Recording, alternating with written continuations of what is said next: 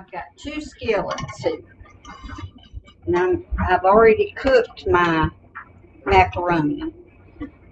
I cooked two cups of macaroni.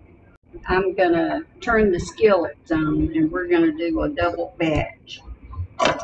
First thing I do is to add four tablespoons of butter to each skillet and let it melt. So the butter is melted and I'm going to add to each skillet four tablespoons of flour. Most recipes I've seen call for all-purpose flour, but this happens to be self-rising. It really won't change the flavor, but I'm going to mix these up. And we don't really want it to brown. And then to this, I'm going to add milk to one skillet.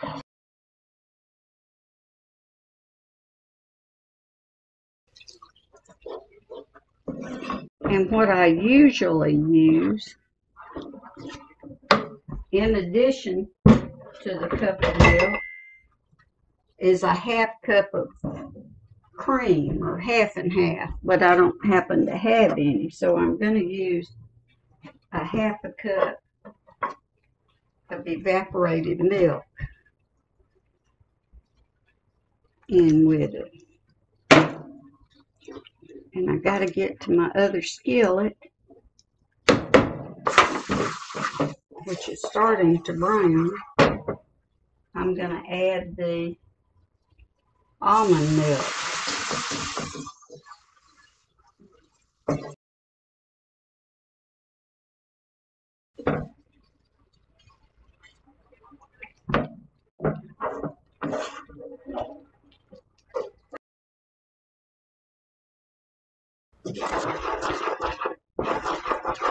So this is my white sauce.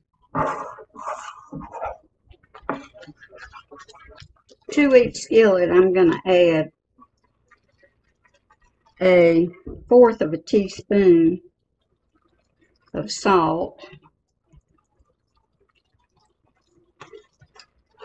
And just a little dash of pepper to each one.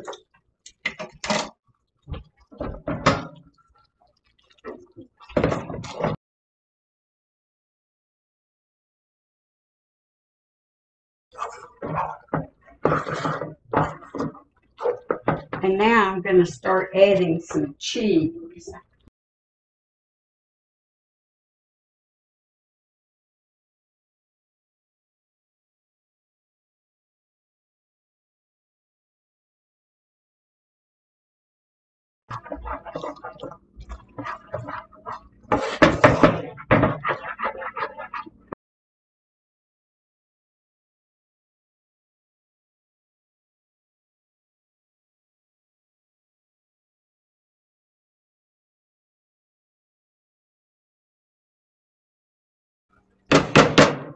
I'm going to taste each one and make sure it's salty enough.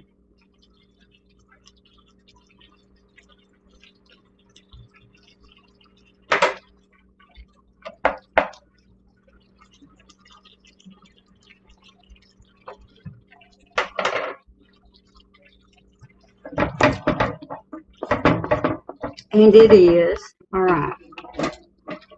Now I'm going to add the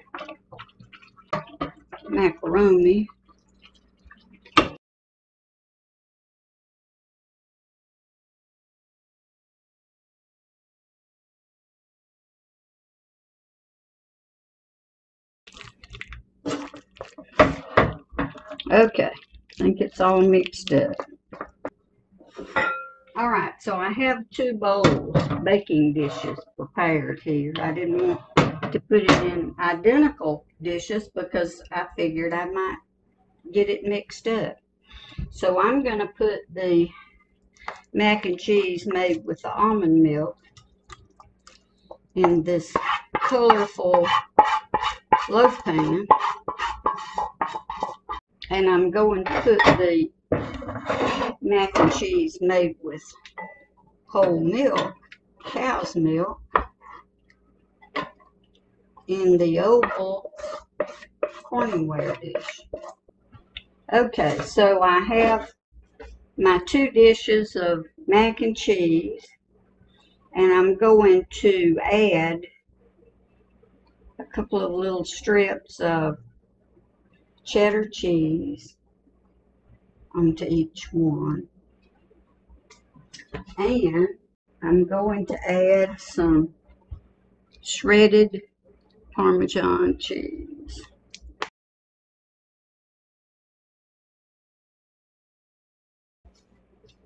And I'm going to bake these at 350 for about 20 minutes, 15 to 20 minutes. And then we'll do the taste test. The mac and cheese is done and it's dinner time. So let me show you the two versions. This one was made with regular whole milk, cow's milk. This one was made with the almond milk.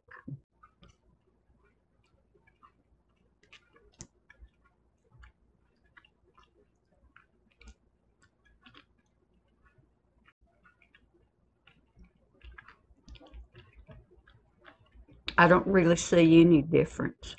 Uh, so the the experiment was a success.